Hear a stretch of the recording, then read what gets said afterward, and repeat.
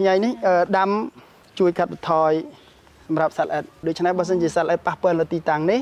នៅទីតាំងខាងនេះអត់សូវប៉ះពាល់ទេដោយសារឆ្លងកាត់ខ្ញីហ្នឹង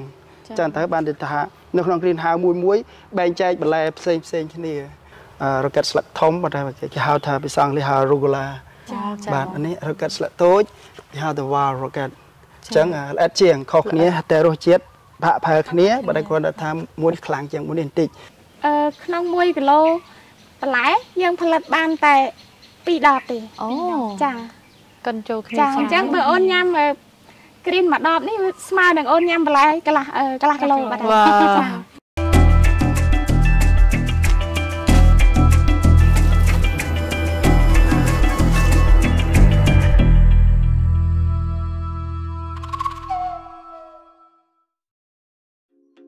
សួស្តីអ្នកទាំងអស់គ្នាស្វាគមន៍មកកាន់កម្មវិធីទេសចរផ្សារភ្ជាប់ទឹកដីនៅសប្តាហ៍នេះយើងនឹងនាំអ្នកទាំងអស់គ្នាមកទស្សនាកសិដ្ឋានមួយនៅក្នុងខេត្តសៀមរាបចឹងចង់ដឹងថានៅទីនេះមានឈ្មោះអីហើយមានអីគេមើលខ្លះតោះទៅមើលទាំងអស់គ្នា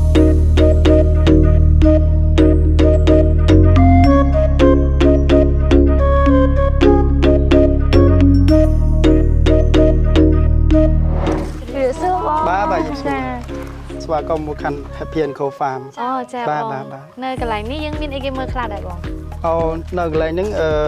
យើងមានការដាំដុះបន្លែលក្ខណៈអឺបន្លែធម្មជាតិនិងបន្លែគេថាដាំលើទឹកហើយយើងមានការទទួលភ្ញៀវសម្រាប់ចូលមកទទួលអាហារថ្ងៃត្រង់អាហារពេលព្រឹកនិងពេលល្ងាចដែរអូ ចាបងចាបងអញ្ចឹងតកតងនឹងកោដដៅទី1នៃការទស្សនារបស់យើងថ្ងៃនេះយើងទៅមើលកន្លែងណាដែរបងចាជំនាញដំបូងបងចាំយកមកឯងទៅមើលការដាំដុះរបស់យើងដាំដុះនៅលើដៃផ្ទាល់តែម្ដងប៉ុន្តែគ្រាន់តែថាមានការគ្រប់គ្រងដោយប្រើផ្ទះសំណាញ់ហើយមានការគ្រប់គ្រងកម្ដៅនៅខាងក្នុងដូច្នេះយើងទៅមើលមុនគេបន្តមកទៀតចាំយើងមើលបន្តបន្តមកទៀតមានការផ្សេងទៀតបានដល់ចុះ បាទនេះជាផ្ទះសំណាញ់របស់ផងយើងផ្ទះគេហៅផ្ទះបៃតងណាអូនចា៎ហើយយើងដាំដុះបន្លែនៅលើដីភាគច្រើនដាំបន្លែខ្មែរយើងខ្លះហើយបន្លែបរទេសខ្លះតែភាគច្រើនបងដាំពពួកបន្លែរ៉ុកេតច្រើនដូចមើលខាងនេះខាងនេះហើយរ៉ុកេតទាំងពីរនេះវាមានសន្តានភាពខុសគ្នាស្ថានភាពរ៉ុកេតនេះគឺជារ៉ុកេតដូចគ្នាប៉ុន្តែជាអម្បូរមួយឈ្មោះថា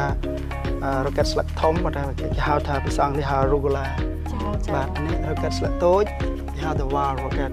អញ្ចឹងល្អិតជាងខុសគ្នាតែរសជាតិផាក់ផែគ្នាបើតែគាត់ថាមួយខ្លាំងជាងមួយនេះបន្តិចប៉ុន្តែសម្រាប់អតិជនខ្លះដែលគេផ្ដោតខ្លាំងមកលើនេះគឺគេប្រើខាងមួយនេះមុខខ្លះគេចូលចិត្តអានេះគេគេប្រើមួយនេះផ្សេងគ្នាអញ្ចឹងហើយក៏មានខ្ញីខ្លះដែរហើយខ្ញីនេះដាំជួយកាត់បន្ថយសម្រាប់សត្វល្អិតដូច្នេះបើសិនជាសត្វល្អិតប៉ះពាល់នៅទីតាំងនេះ នៅទីតាំងខាងនេះអត់សូវប៉ះពាល់ទេដោយសារឆ្លងកាត់ខ្ញីហ្នឹងចឹងទៅបានទៅថានៅក្នុងគ្រីនហៅមួយមួយបែងចែកបន្លែផ្សេងផ្សេងគ្នាចុះជាទូទៅនៅក្នុង green house មួយមានប្រហែលជាប្រមាណរុក្ខជាតិផ្សេងគ្នាដែរបងមិចគ្នាយ៉ាងថោចបំផុតគឺឲ្យបាន3 3សន្តាននៃប្រភេទបន្លែនៅក្នុងមួយក្នុងមួយផ្ទះសម្ដាយយើងផ្ទះបៃតងរបស់យើងណាបាទបាទអញ្ចឹងទៅបានថាបើយើងដាំលោ17 8ក៏បានដែរប៉ុន្តែគ្រាន់តែថាការថែទាំរបស់បុគ្គលិករបស់យើងជួយពេលខ្លះ អឺបន្លែមួយថែទាំប្រភេទខុសគ្នាដូច្នេះគាត់ពិបាកក្នុងការគ្រប់គ្រងបងចោខ្សែនេះគេដាក់ធ្វើអីដែរបងអឺពីដើមមិញផ្ទះសំណាញ់នេះយើងដាំផ្ទះបៃតងនេះយើងដាំពេញប៉ោះចា៎បាទព្រោះនៅនេះយើងហៅថា Happy Cherry Tomato បាទអញ្ចឹងមកន័យថាពេញប៉ោះហ្នឹងពេញប៉ោះរបស់ Happy Co ដែលគាត់ធ្វើការសហការ select ក្រពូជមកពីប្រទេសក្រៅចូលមកដាំក្នុងខ្មែរយើងយើងជោគជ័យខ្លាំងដែរ ប្រហែលគ្រាន់តែមួយរយៈកាលនេះបងដាក់ការកំងក្រពូចសាថ្មីម្ដងទៀតវាហាក់ដូចជា មានការរអាក់រអួលមិនសមដំណើរការល្អដោយសារតែវិបត្តិកូវីដចឹងទៅអ្នកដែលផលិតក្រពូចនេះគាត់ស្ទើរថាពិបាកក្នុងការផលិតឲ្យយើងបាទនេះគឺជាការប្រមូលផលប្រចាំថ្ងៃរបស់ពួកគាត់គាត់ប្រមូលផលរាល់ថ្ងៃបាទបាទហើយសួរបងមីងសុខសប្បាយស្អាតស្អាតស្អាតបាទបានខែណាបានអឺពេលប៉ោះហ្នឹងសំតោ rocket ហ្នឹងជាទូទៅយើងដាំ យើងថា60ថ្ងៃយើងប្រមូលផលព្រោះការដាំរ៉ុកេតត្រូវមានការស៊ូទ្រាំបន្តិចព្រោះអីដោះមកយើងមើលឃើញទេបាទស៊ូបងជំនាញហ្នឹងដោះមកគឺគាត់យើងមើលតូចល្អិតពេកដល់ពេលពេលខ្លះនេះដែលដាំរ៉ុកេតថ្ងៃថ្ងៃដែលរ៉ុកេតដោះហ្នឹងវាត្រូវការពេលប្រហែលជាមួយសប្តាហ៍បានដោះដោះចេញមកឲ្យមើលអត់ឃើញទៀតវាល្អិតតូចពេកហើយអញ្ចឹងពេលខ្លះគាត់អស់អារម្មណ៍អស់សង្ឃឹមណាអញ្ចឹងបងធ្លាប់សាករបស់ពីដើមមកបងអស់សង្ឃឹមអញ្ចឹងបងថាចា៎អញ្ចឹងបងចំណាយ green house មួយសម្រាប់ដាំតាវាទេបងថា កុំសូវបដោតខ្លាំងលើវាព្រោះអីគ្រូពេលខ្លះយើងនឹងអស់សង្ឃឹមទៅលើទៅលើរ៉ុកេតនេះព្រោះអីមើលអត់ឃើញផងហ្នឹងវាល្អិតពេកអញ្ចឹងទុកឲ្យវាដោះខ្លួនវាទៅស្រាប់តែពេលដែលវាដោះចេញមកយូរយូរយកមានការស៊ូត្រាំទៀតទៅស្រាប់តែឃើញមានផ្លែផ្កាតែម្ដងហើយភោគផលដែលទទួលបានហ្នឹង60ថ្ងៃយើងចាប់ផ្ដើមបេះបន្ទាប់ពីយើងបេះរួចហើយយើងស្រោចជីកំប៉ុស្តទឹករបស់ផងយើងយើងជ្រួយច្រំគល់យើងថែទាំទៅរ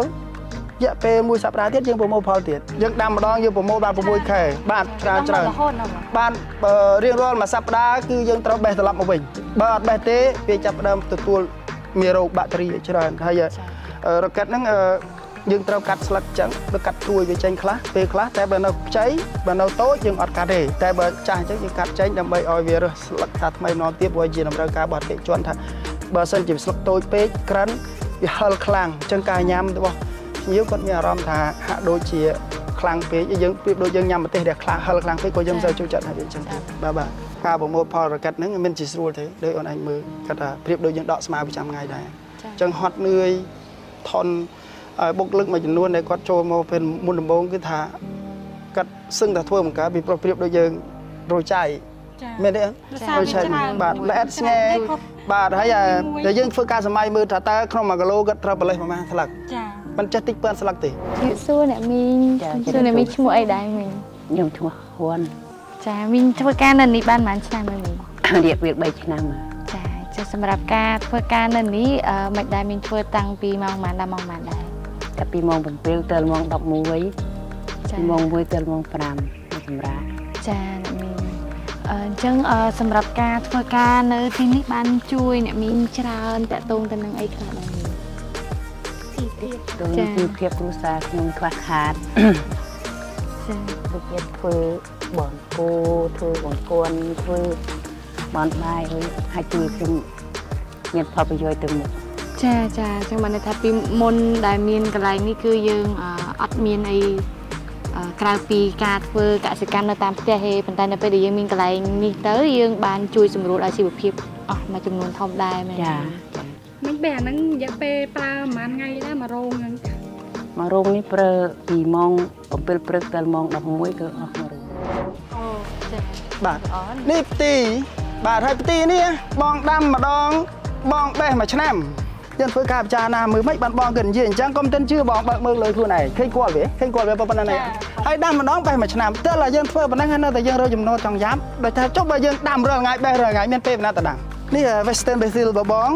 ដែលបងបងនិយាយមួយមួយណែមិញណាចឹងឃើញទេអូនឯងមើលគល់វាអូនឯងធ្វើការសម័យសម័យមើលចុះបើគល់វាដល់កម្រិតហ្នឹងសួរថាបងឯងដាំមួយថ្ងៃគល់ប៉ុណ្ណឹងអត់រឹបខែប្រមូលផលរឹបឆ្នាំហ៎ហើយដូច្នេះបងបងទៅកសិករទៅចេះឆ្នៃប្រឌិតអានេះគេហៅអង់គ្លេសហៅ edible flower edible flower ចាំមិនតែផ្កាដែលអាចញ៉ាំបានពេលដែលអូនឯងធ្វើម្ហូបបានស្អាតម្ហូបក្លិនឈ្ងុយមើលទៅរូបរាងស្អាតឬមិនស្អាតវាមិនបានស្មើផ្កាទេ ផ្កាលើលើលើអ្វីៗគ្រប់យ៉ាងបន្លែមានពើអីក៏ដោយចាញ់ផ្កាពាក្យថាផ្កាគឺគេថាអូនឯងស្អាតដូចផ្កាចុំមែនអស់ចាបំផុតមែនទេអញ្ចឹងមើលផ្កានេះមានស្លាបវាទៀតមែនអត់គេស្លាបរបស់វាហើយគេ degradation នៅលើ food អញ្ចឹងគេដាក់អញ្ចឹងផ្កាមានបាល់ស៊ីញ៉ាំងហើយនៅពេលដែលយើងញ៉ាំរបស់ថ្លៃគេដែលដាក់ឲ្យញ៉ាំច្រើនរបស់ឆ្ងាញ់គេឲ្យតែ3ស្លឹក3ផ្កានៅលើម្ហូបរបស់យើងតម្លៃ7ដុល្លារទៅ10ដុល្លារទៅ3ផ្កាបាទបាទនេះ hydro hydro hydro បបងបងដាំ បងដាំ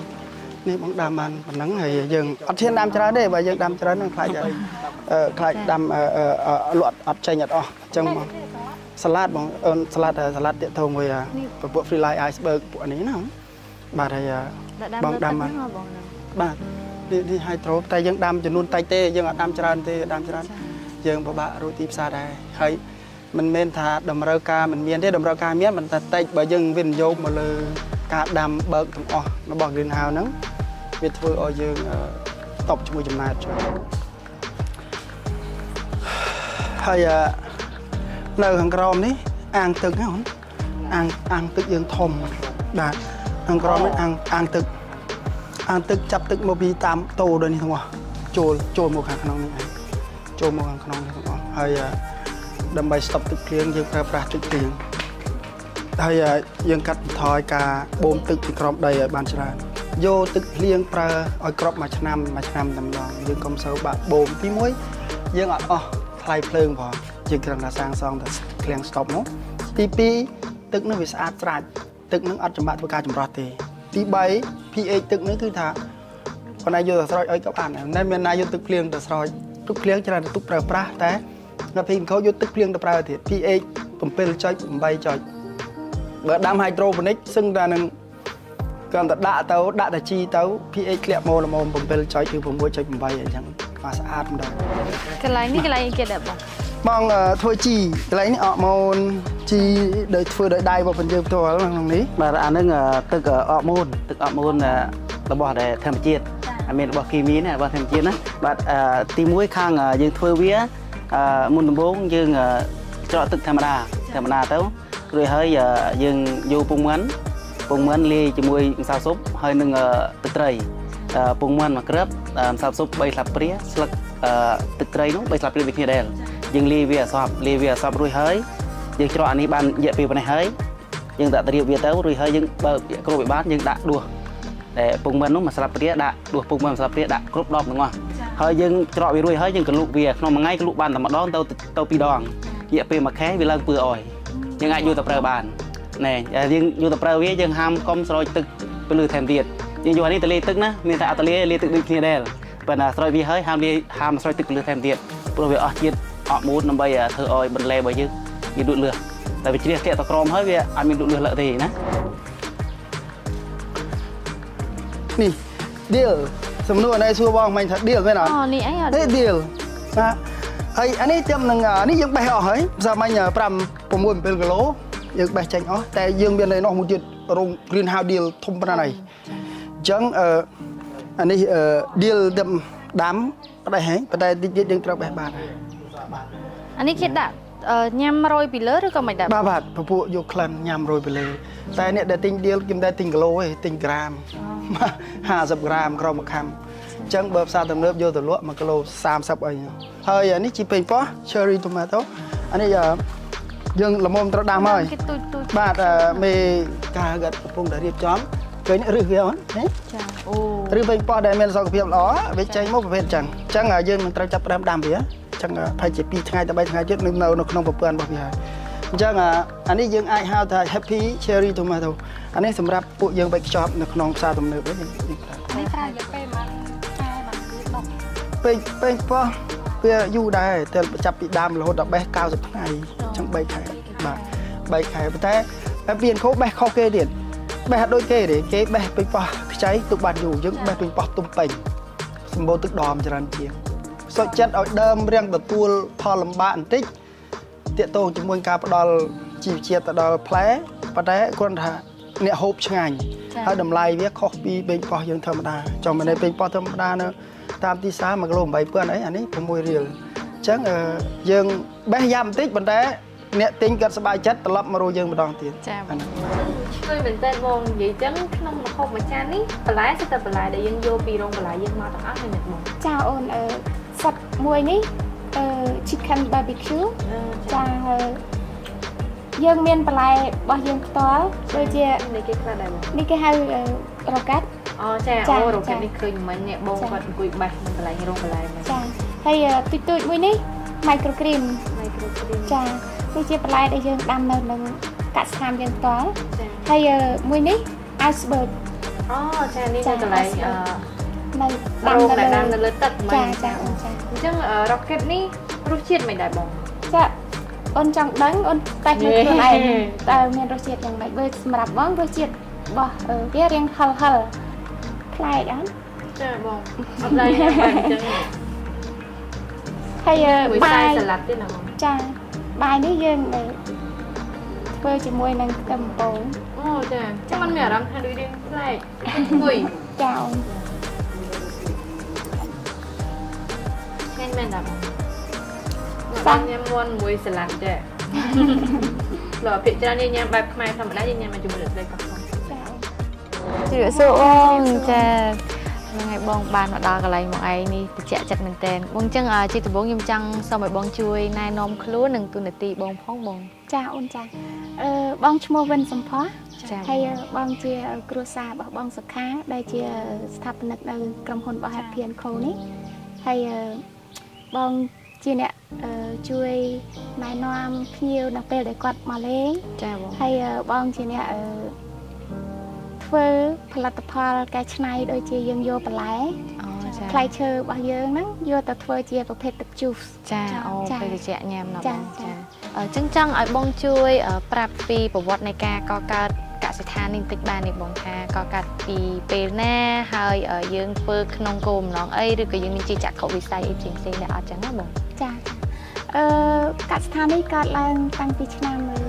2011ចារហូតមកដល់សប្តាហ៍ហ្នឹងវាចូល13 14ឆ្នាំហើយចាហើយយូរដែរកាលដែលយើងចាប់ផ្ដើមនោះគឺយើងអត់មានអីទេមានតែដីស្រែដីស្រែចាតែរយៈពេលជាង10ឆ្នាំហ្នឹងគឺពួកយើងព្យាយាមកែខៃអឺ ដីចាពីដីស្រែរហូតដល់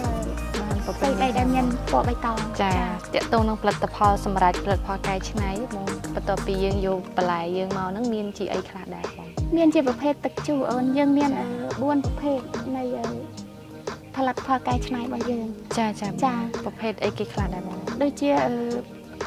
green ពណ៌បៃតងហើយ glow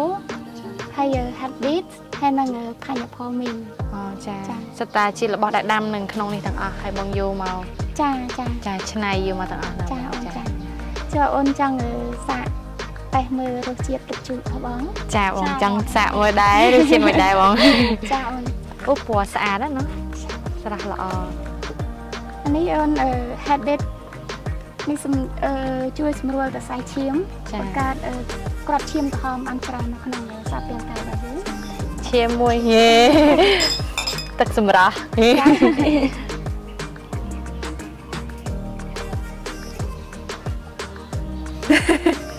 បន្លែបន្លែតែអត់អត់ធំក្លិនខ្លាំងទេអឺសម្រាប់ខ្ញុំខ្ញុំជាអ្នកអត់ចេះញ៉ាំបន្លែអញ្ចឹងទៅពេលខ្លះខ្ញុំធំក្លិនអីខ្ញុំអត់ចង់ញ៉ាំទេប៉ុន្តែអានេះអត់អីផងចាខ្ញុំទៅវារៀងអឺផ្អែមឡែមឡែមឡែមឡែមតែបើខ្ញុំឡែមឡែមឡែមឡែមឆ្ងាញ់ចាបងអញ្ចឹងអឺពណ៌ក្រហមនេះ ផ្សំពីផ្លែឈើឬក៏បន្លែអីខ្លះដែរបងនៅក្នុងហ្នឹងចាអូនអឺនេះ habit habit នេះអឺគ្រឿងផ្សំរបស់ habit នេះមាន beetroot មាន celery មានទឹកសក់ cucumber ហើយនិងខ្ញីនិងក្រូចឆ្មាអូចាចាបងចាអញ្ចឹងអឺជាប្រភេទផ្លែឈើលាយជាមួយនឹងបន្លែចាអញ្ចឹងបានបានបង្កើតមកហើយអត់យើងអត់បានដាក់ស្ករអត់បានដាក់ទឹកអីលាយចូលនៅក្នុងធម្មជាតិទាំងអស់ហ្មងនេះចាគឺយើងគៀបយកតែទឹក សុទ្ធតែម្ដងអញ្ចឹងអានេះជំនួយអីគេដែរបងមិញអឺ habit នេះជំនួយអឺក្របឈាមក្រហមអូអ្នកដែលគាត់សុខខ្វះភាពក្របល្អឈាមក្រហមអីគាត់អាចប្រសាបានចា៎ព្រោះអឺបង្កើនក្របឈាមក្រហមនៅក្នុងសាពេញកាយរបស់យើងចាចាចាគឺល្អសម្រាប់អ្នកស្រឡាញ់សុខភាពល្អមែនទែនចាចាប់3 3ពណ៌នេះហ្មងអឺអូនអឺសម្រាប់ green នេះវិញគឺបន្លែបៃតងបន្លែបៃតងហ្នឹងយើងអាចយកប្រភេទបន្លែ បៃតងដែលយើងដាំនៅក្នុងចការបស់យើងចាចាមានតាំងពីទីអឺ spinach ហើយអឺអូប្រភេទស្លឹកចាចាហើយនឹងអឺខាត់ណាស្បៃតឿអីហ្នឹងយើងអាចយកមកប្រើបានជាមួយនឹងទឹកសក់សក់ចាសក់ដូចគ្នាហើចឹងយនេះជំនួយអីដែរបងអត្ថប្រយោជន៍របស់ green នេះគឺដូចយើងញ៉ាំបន្លែអូចាបន្លែគ្រប់មុខចូលក្នុងសារពាង្គកាយរបស់យើងអញ្ចឹងចាអូនចាដឹងស្រាប់ហើយពីអត្ថប្រយោជន៍នៃបន្លែចាចាអញ្ចឹងវាល្អចា ទាំងការអឺដែលយើងញ៉ាំទៅអឺប្រព័ន្ធអឺរំលាយអាហាររបស់យើងហ្នឹងគឺដំណើរការបានល្អចាចាចាចាអឺក្នុង1គីឡូបន្លែយើងផលិតបានតែ2ដបទេអូចាកិនចូលគ្នាចាអញ្ចឹងបើអូនញ៉ាំអឺគ្រីមមួយដបនេះវាស្មើនឹងអូនញ៉ាំបន្លែកន្លះអឺកន្លះគីឡូបាត់វ៉ាចាចឹងចិត្តញ៉ាំ green នេះចាជាប្រភេទទឹកស្រាប់ចាបងចាចុះបន្តមកទៀតបង កាគីរ៉ុឡូនេះគឺអឺការ៉ុតតចាចាចាអញ្ចឹងអឺការ៉ុតយើងមានអឺ celery មានអឺទឹកសក់មានផ្លែប៉ោមអីហ្នឹងចាមិនចូលគ្នាចាចាអានេះយើងញ៉ាំទៅគីឡូមែនចាស្បែកធ្វើស្បែកលឺសាអូខេសុំសាកនឹងតិចទេអ្នកដែលត្រូវការស្បែកស្អាតគេអាចញ៉ាំគីឡូស្បែកស្អាតដោយធម្មជាតិចាបងអឺធំក្លិនក្រូចឆ្មាចាអូនមានក្រូចឆ្មាមាន celery មានអឺអឺ ខ្ញីចាចាចាខ្ញីចាតែឆ្ងាញ់វាអត់ធំក្លិនកពុលណាអត់កពុលអឺក្លិនបន្លែឬក៏អីហើយញាប់ផលមីននេះគឺទឹកម្នាស់ជាមួយនឹងជីងកាំចាឈ្ងុយបងចាអញ្ចឹងបើសិនជាយើងដាក់តែទឹកម្នាស់សុទ្ធវាអត់មានក្លិនឈ្ងុយទេតែដែលយើងអែតជាមួយនឹងជីងកាមទៅវាធ្វើឲ្យក្លិនចាមានក្លិនឈ្ងុយចាប្រហើរដូចចាចា បើសិនជាអ្នកផ្ដាសាយអីអញ្ចឹងគាត់ធំក្លិនជីងកាមហ្នឹងវាធ្វើឲ្យអារម្មណ៍របស់គាត់តឹង fresh បាត់តឹងច្រមុះចាបងចាអញ្ចឹងអឺសម្រាប់មួយដបនេះតម្លៃប៉ុន្មានដែរបងចាអូនក្នុងអឺមួយដបហ្នឹងអឺ2ដុល្លារកន្លះចាចាហើយបើសិនជាគាត់យកទិញទៅគាត់ចូលទៅទុកនៅផ្ទះទុកបានរយៈពេលប៉ុណ្ណាដែរបងមានជាអឺមានអូនមានអឺ Expired យើង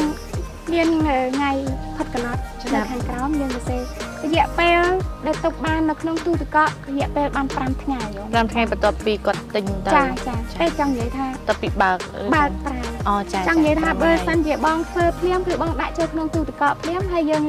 លក់តែម្ដងចាចាយើងអត់អាចអឺទុកទេតែបើសិនជាគាត់អាចយកទៅទុកទូទឹកកករបស់គាត់បានរយៈពេល5ថ្ងៃចាចាត្រូវបងដោយសារតែនេះវាជារបស់ធម្មជាតិចាយើងអត់មាន fresh ដាក់ចាសារធាតុរក្សាទុកអីអត់អីទេទេអត់ទេចាចាហ្នឹងហើយបងអញ្ចឹងអឺទាំងអស់នេះបងមានដាក់លក់នៅណាខ្លះដែរបងអឺបងមានលក់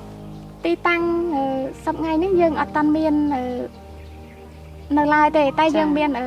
ទីតាំងដូច morning cafe អូចាចានៅចានឹងអឺសាខាគុកចកចាបងបាត់ចាគុកចក ហើយមួយទៀតដែរចង់ដឹងថាតើបន្លែរបស់បងភាគច្រើនហ្នឹងបងផ្គត់ផ្គង់ទៅនៅក្នុងខេត្តសៀមរាបហ្នឹងផ្គត់ផ្គង់ទៅខាងណាខ្លះដែរបងអឺភាគច្រើនយើងផ្គត់ផ្គង់ទៅខាងអូសន្តាតែគារចាចាចា restaurant ហើយនឹងផ្សារទំនើបអូចាចាភាគច្រើននៅនោះសិតតែបងបងទាំងអស់ហ្នឹងចាចាបងចាអញ្ចឹងបងទីតាំងដែលយើងកំ ពុងនៅនេះបងបងអាចប្រាប់ពីទីតាំងនៅភូមិណានៅដំណាដែរអឺ Happy and Co ស្ថិតនៅភូមិកំរោលថ្មី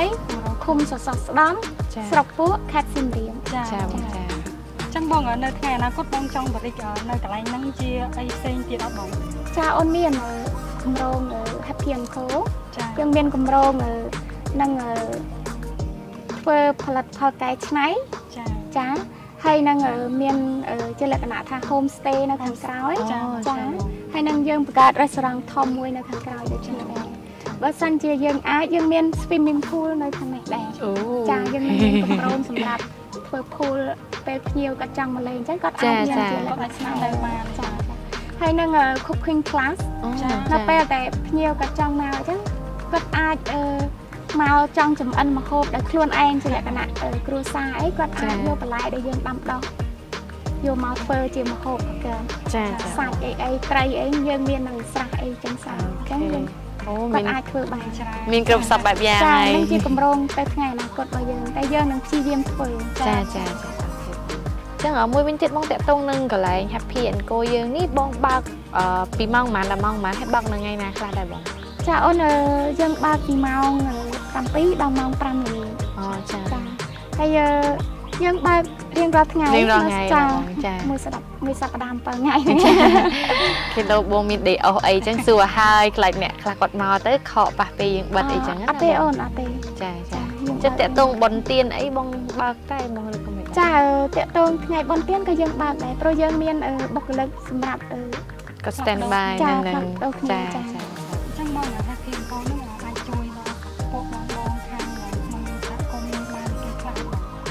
ចាអូនអឺទី1យើងផ្ដល់ការងារឲ្យគាត់ធ្វើដូចជាការដាំដុះហើយអឺទី2ហ្នឹងគឺយើងផ្ដល់ចំណេះដឹងឲ្យគាត់ចាអញ្ចឹងនៅពេលដែលគាត់ចូលមកធ្វើការនៅ Happy Co គាត់ចេះពីការអឺធ្វើការងារចាចេះដាំដុះអញ្ចឹងគាត់អាចបើសិនជាគាត់អឺឈប់ពីធ្វើការនៅកន្លែងយើងគាត់អាចយកចំណេះដឹងដែលគាត់ធ្វើហ្នឹងដាំតែដាំខ្លួននៅឯផ្ទះងចាចាចិញ្ចឹមជីវិតគ្រួសាររបស់គាត់បាន ចឹងភាគច្រើនគាត់ជាអ្នកស្រុកនៅនឹងតែម្ដងឬមួយក៏មិនដែរបងចាអូនគាត់អ្នកនៅអឺស្រុកភូមិនៅនឹងផ្ទាល់ចាចាគាត់នៅភូមិខាងជើងរបស់ Happy Co ហ្នឹងអ្នកខ្លះគាត់នៅខាងកើតខាងនិយាយរួមទៅប៉ាក់វេនជុំវិញអឺឃុំតែមួយចាចានៅចាឃុំបងទាំងមួយចាត្រូវអញ្ចឹងបងបើសិនតែភ្ញៀវគាត់ចង់មកលេងនៅហ្នឹងគាត់អាចតាក់ទងបងតាមណាបានបងចាអូនអឺយើងមានអឺ Facebook page ចាក៏បាន Telegram ក៏បានហើយនឹងអឺតាមអឺលេខទូរស័ព្ទក៏បាន អញ្ចឹងអឺ Facebook page អាចតាក់ទងនឹងអឺ Happy Co Farm ណាចាចាអឺលេខទូរស័ព្ទអាចតាក់ទងតាមលេខទូរស័ព្ទអឺ092 233 533បាននឹងជាលេខរបស់គ្រួសាររបស់បងផ្ទាល់ចាចាចាគាត់អឺអញ្ចឹងអាចតាក់ទងបងផ្ទាល់ក៏បានតាមចា Facebook ចាក៏បានចាបងចាអូនចាចាអូខេអរគុណច្រើនមែនទែនបងចាកម្មវិធីទេសចរផ្សារភ្ជាប់ទឹកដីបានឈានមកដល់ទីបញ្ចប់ សូមអរគុណអ្នកទាំងអស់គ្នាដែលបានតាមដានទស្សនាវីដេអូនេះតាំងពីដើមរហូតដល់ចប់អញ្ចឹងបើសិនជាអ្នកទាំងអស់គ្នាចង់មកទស្សនាការដាំដុះបន្លែហើយនឹងមកសិក្សាអំពីកសិដ្ឋានដែលបង្កើតឡើងដោយគុណខ្មែរនៅក្នុងខេត្តសៀមរាបនេះសូមកុំភ្លេច Happy Go and Farm ណាសូមអរគុណសូមជម្រាបលាបាយបាយ